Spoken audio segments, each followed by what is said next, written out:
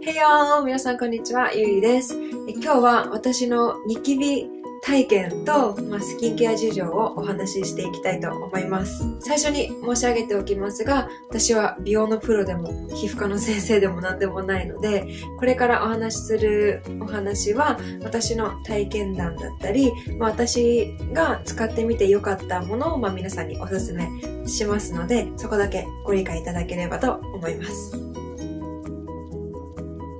私は10代の頃は特にこうニキビ肌とかこう思春期ニキビに悩まされたことはあんまりなくて、あの、まあ、こう時々こうポツポツとあのできるものはあったんですけど、まあ、その時に使っていたのが、このベルゼリート M という薬を使っていたんですけども、これはあの全然ニキビ用っていうかニキビ専用のスポットトリートメントではないんですけど、私はたまたまこれが家にあって、で、母親にこれを使いなさいっていう風に言われて、まこれを、あの、ニキビができたところに少量取って塗っていたんですけども、で一応後ろに効能や効果書いてあるんですけど、ま肌荒れ、荒れ症、ひび、赤切れ、霜焼けを防ぐと書いていますので、まニキビ専用ではないんですけど、あの、肌荒れか傷とかにも効くので、これをよく塗っていました。これは一応 Amazon とかでも今でも販売しています。で、私はこの新しいのは Amazon で購入しました。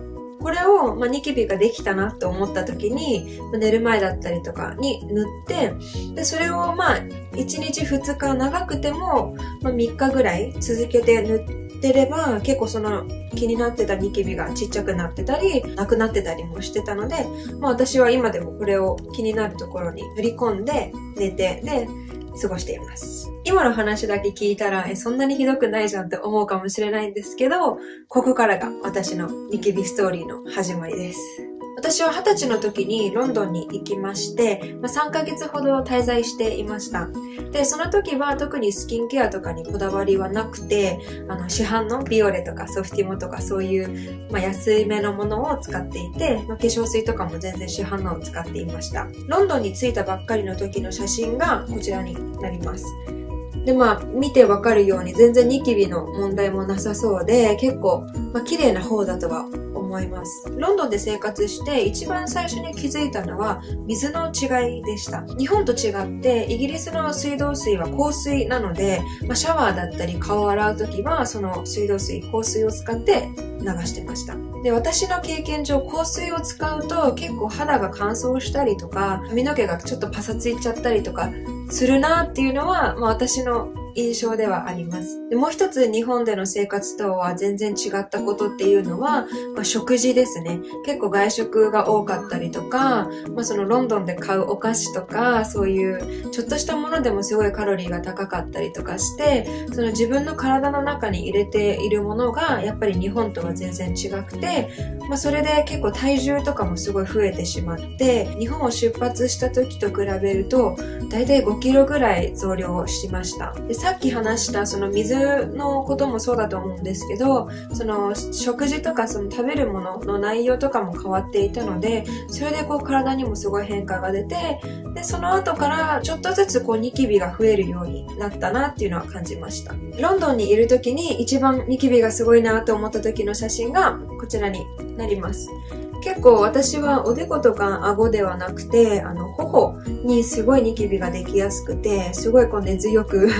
あの、痛ニキビとか頑固なニキビっていうのは、大体この頬の、あの、部分になります。で、やっぱりニキビが気になるなと思い始めたので、ロンドンのドラッグストアに行って、薬用の洗顔料を買ってみたんですけども、やっぱりその、ロンドンとかアメリカとかで売ってるような洗顔料っていうのは、そっちの人たちに向けて作ったものなので、やっぱり私みたいなもう根っからのアジア人の肌質あのには全然効かなかったので、まあ、その洗顔料とかっていういうのはもう本当にただただ顔を洗ってるだけで、このニキビが減ってるなとかニキビが薄くなってるなっていうのは全然感じませんでした。ロンドンに滞在して3ヶ月経って日本に帰国してきたんですけども、やっぱり日本のものを使いたいなと思って、日本のドラッグストアに行って洗顔料を探して買ってみて使ったんですけども、頑固なニキビだったので、その市販の薬用のって書いてあるものでもやっぱり全然効かなくて、ニキビがこう薄くなってる気も全然、まあ私の思い込みかもしれないんですけど、全然しなかったので、まあそれもちょっと諦めて、で、ちょっと高かったんですけど、プロアクティブを使うようになりました。結構 CM とかでもその当時プロアクティブの広告が多かったので、使ってみようと思って使ってみたんですけど、私の肌にはもう刺激が強すぎて、で、洗ってもこう、かえって顔が赤くなっちゃったりとか、そのニキビをよりこう、傷つけてた気がして、で、まあ、1、2ヶ月、もうちょっと使ってから3ヶ月ぐらい使ってはみたんですけど、高かったっていうのもあるし、私の肌にやっぱ何より合ってなかったので、プロアクティブも断念しました。でもニキビに悩み続けて、半年ぐらい経ってからかな、そのロンドンから帰ってきて、半年ぐらい経った時に、まあ、ネットでいろいろ調べていて、全然一向に良くならなかったので、他にいい洗顔料とかいいスキンケアないかなと思って探していた時に、オルビスというブランドを見つけました。オルビスもプロアクティブと同じで、まあ、ライン使いするものなので、洗顔料と化粧水と、あとモイスチャライザーがまあ、セットでこうあるようなものなんですけども、プロアクティブを使った印象のまま、まあ、オルビスもきっとそうなんだろうなと思って聞かないないのかなと思っていて、まあ、半信半疑で結構調べていたんですけども、他の方のレビューを見て、すごい刺激が少ないっていうのが書いてあったので、私は何より刺激が少ないものを探していたので、じゃちょっと使ってみようかなと思ってトライアルセットを購入してみました。そのオルビスとの出会いが、もうまさに私のニキビ人生を変えてくれました。オルビスのトライアルセットを使い始めて、2、3週間ぐらい経って、もうすぐ結構効果が出たんですけども、本当に私の頑固な頬のニキビがだんだん薄れていくのがすごい分かって、刺激もやっぱりすごい少なくて、もう私の肌にはすごい合っていたので、これを使い続ければ良くなるかなと思って、フルボトルを購入しました。私が今でも使っているのが、オルビスのクリアシリーズというものなんですけども、化粧水とモイスチャライザーには2タイプありまして、さっぱりタイプとしっとりタイプがあります。私の肌は結構乾燥肌なので、私はしっとりタイプを使っているんですけども、まあ、もちろんオイリー肌の方とかであれば、さっぱりタイプを使うといいかなと思います。お値段なんですけども、洗顔料はワンタイプしかなくて、この大きさ 120g 入っているんですけども、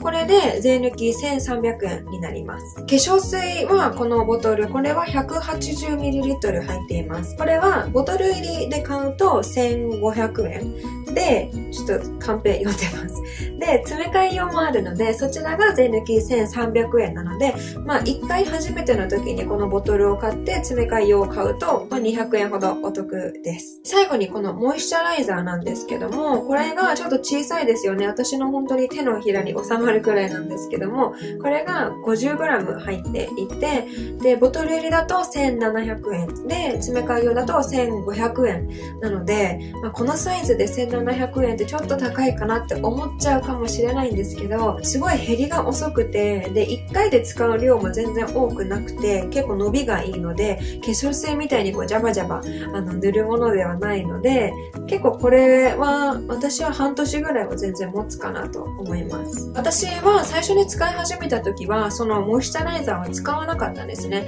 で、洗顔料と化粧水だけでスキンケアを済ませていたので、でもそれでも全然効果がありましたので、もし、その予算とかがある方は、そのモイスチャライザーはとりあえず抜きで、洗顔料と化粧水だけで済ますのも全然ありだと思います。オルビスを使い始めて、早3年ぐらい経つんですけども、今の肌の状態がこんな感じです。まあ今見てわかると思うんですけど、そんなに後もなくて、ちょっと化粧をしているっていうのもあるんですけど、でも全然カバー力の高いファンデーションとか使ってなくて、まあこんな感じなので、全然後がないって言ったら嘘になるんですけど、でも全然気にならない程度になりました。なので、オルビスは使い続ければ使い続けるほど結構効果があって、で、新しいニキビとかもできにくくなりました。今現在のスキンケア事情なんですけども、まあ、先ほどから言っているそのオルビスの3点セットは使うようにはしているんですけども、それ以外では、まあ、さっきのあのベルゼリートの薬をこう、ちょっとニキビのでき始めとかに塗るようにしたりとか、あと化粧落としは、あの、オルビスでも販売はしているんですけども、私はオルビスのは使ってないです。私が使っているのはこちらになります。こちらは無印良品の、えっ、ー、と、マイルドジェルクレンジングになります。で、まあ、ジェルなので、乾燥肌の人とかはあんまり 良くないとは思うんですけど、でもこれは化粧落としがすごいスムーズにできるし、で、結構こう、ウォータープルーフのマスカラとかもこれで落ちたりするので、これはすごい愛用していますね。で、値段もすごい安いので、これ 200g 入って780円。税込み780円なので、すごいお得です。で、洗顔して化粧水塗った後に、まあ、週1、2回ぐらいでシートマスクとかをしてみたりとか、あとはいただいたあのランコムのスキンケアとかを使ったりはするんですけども、でも大体さっき言ったオルビスのクリアシリーズの洗顔と化粧水、モイスチャライザーと気になるところにベルゼリーと塗ったりするくらいなので、こんな感じが私のニキビストーリーとスキンケア事情になります。皆さんいかがでしたでしょうか？まあ、あの、最初にも申し上げたんですけども、私は全然美容のプロとかっても何でもないので、あくまで私が経験して、私がこう、ニキビに悩んで使ってみたものとかを、そのまま、あの、皆さんにお伝えしてるだけなので、まあ今後、そのニキビで悩んでる方とかが、オルビス使ってみたりとか、あの、していただくのも全然いいと思うんですけど、効くか効かないかは本当に皆様の肌の、あの、状態だったりとか、肌質にもよると思うので、そこはやっぱりお約束はできないんですけども、まあまあ私が使ってみて心の底から おすすめしたいものが、このオルビスのものだったり、そのベルゼリートだったりするので、参考になればいいなと思っています。3年前に私がニキビで悩んでいた時に、こういう動画があればよかったなって思ったので、まあこの動画が誰かのためになれば幸いだなと思います思います。いつも私歌の動画を載せているので、よかったらそちらの歌の動画の方も見てみてください。まだしてない方はぜひチャンネル登録の方もよろしくお願いします。それでは長くなりましたが、また次の動画でお会いしましょう。バイバイ。